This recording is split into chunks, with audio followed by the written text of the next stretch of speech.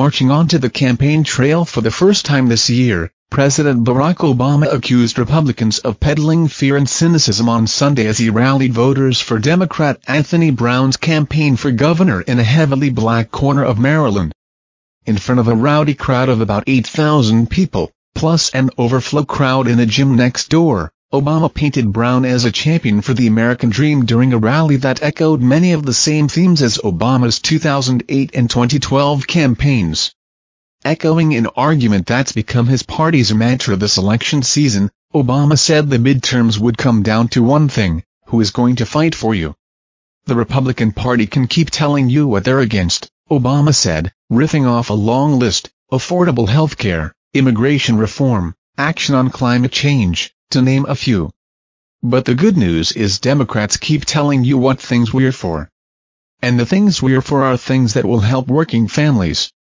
At a rally that had the feeling of a gospel service, a local pastor opened his prayer of thanks by noting that the slaves who helped build the White House could have never anticipated that one of their own would one day occupy the home, evoking chants of amen from the audience. One speaker suggested that Brown, if elected, would be a leader in the model of Obama himself, while others denounced Republican moves to tighten voting restrictions as an attempt to stifle the black vote.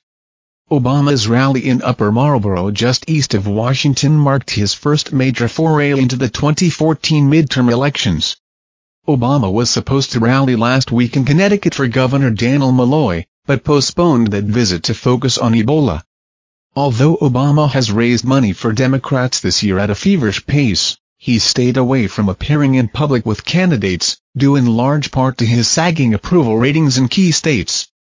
Obama will rally in the coming weeks for another half-dozen Democratic candidates for governor, but is not venturing into the conservative-leaning states where Democrats are fighting their toughest Senate races. Support for Obama still runs high in Democratic-leaning Maryland, and especially here in Prince George's County, Brown's home base. Roughly 65% of the county's population is African American, and roughly 9 in 10 voters here backed Obama in 2008. Just next to the public high school gymnasium where Obama held his rallies sits Barack Obama Elementary School. Currently Maryland's lieutenant governor, Brown would become Maryland's first black governor if elected. This will be a done deal, if you vote, Obama said. Though limited in his ability to help his party this year, Obama has sought to use his own policies to frame an economic message that can lift up Democratic candidates across the country. In Maryland, Democrats seized on Obama's call to raise the federal minimum wage by raising their state minimum wage this year despite the refusal in Congress to take that step. In radio ads and other appearances, Obama has also sought to rev up the same voting blocs that helped elect him twice including minorities, women and young people, in hopes they'll show up this year even without Obama on the ballot. Making his pitch in person, Obama said that every time GOP leaders have had to take a stand on middle-class issues, they've said no. They said no to minimum wage. They said no to fair pay. Think about that, Obama said incredulously.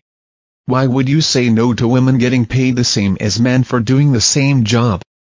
Both Brown and his Republican opponent, businessman Larry Hogan, have received a boost in their campaigns from big-name political figures. Former President Bill Clinton helped raise more than $2 million for Brown's campaign, while GOP Governor Chris Christie of New Jersey will come to Maryland Tuesday for his second fundraiser for Hogan.